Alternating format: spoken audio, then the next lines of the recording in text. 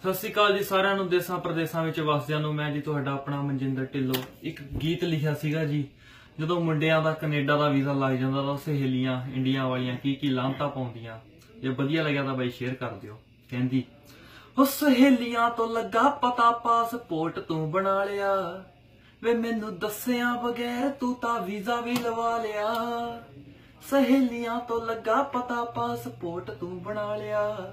ਵੇ ਮੈਨੂੰ ਦੱਸਿਆ ਬਗੈਰ ਤੂੰ ਤਾਂ ਵੀਜ਼ਾ ਵੀ ਲਵਾ ਲਿਆ। ਉਹ ਚਾਰ ਕੁ ਦਿਨਾਂ ਚ ਵੇ ਤੂੰ ਉੱਡ ਜਾਏਗਾ, ਜਾ ਕੇ ਕੈਨੇਡਾ ਸੈਲਫੀਆਂ ਪਾਏਗਾ। ਕਿੱਥੇ ਆਉਣੀ ਫੇਰ ਮੇਰੀ ਯਾਦ ਸੋਹਣਿਆ, ਤੂੰ ਤਾਂ ਭੁੱਲ ਜਾਏਗਾ ਕਰਦਾ ਸੀ ਪਿਆਰ ਸੋਹਣਿਆ। ਕਿੱਥੇ ਆਉਣੀ ਫੇਰ ਮੇਰੀ ਯਾਦ ਸੋਹਣਿਆ, ਤੂੰ ਤਾਂ ਭੁੱਲ ਜਾਏਗਾ ਕਰਦਾ ਸੀ ਪਿਆਰ ਸੋਹਣਿਆ।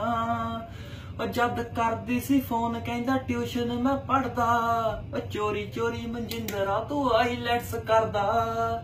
ਜਦ ਕਰਦੀ ਸੀ ਕੋਲ, ਕਹਿੰਦਾ ਟਿਊਸ਼ਨ ਮੈਂ ਪੜਦਾ ਯਮਨਾ ਨਗਰ ਸੀ ਹੁੰਦਾ ਵੇ, ਤੂੰ ਆਈਲੈਟਸ ਕਰਦਾ।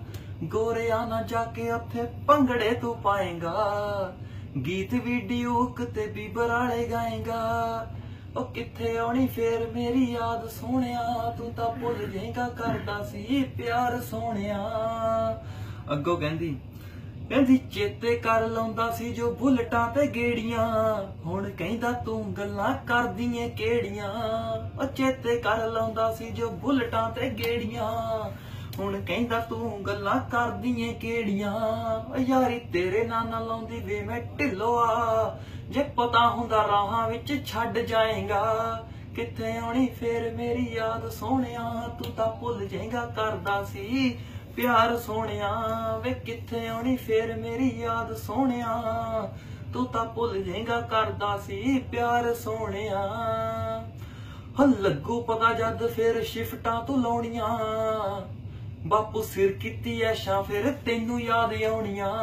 ਰਾਤੀ 2-2 ਵਜੇ ਆ ਕੇ ਜਦ ਰੋਟੀਆਂ ਬਣਾਉਣੀਆਂ। ਬੇਬੇ ਦੀ ਪਕਾਈਆਂ ਫਿਰ ਬਾਲੀ ਯਾਦ ਆਉਣੀਆਂ। ਉਹ ਸਟੱਡੀ ਤੋਂ ਬਾਅਦ ਘਰਦਿਆਂ ਨੂੰ ਬੁਲਾਏਗਾ। ਟਰਾਂਟੋ ਵਾਲੀ ਨਾ ਕਰਾ ਕੇ ਵਿਆਹ ਸੱਟ ਕੈਨੇਡਾ ਹੋ ਜਾਏਗਾ।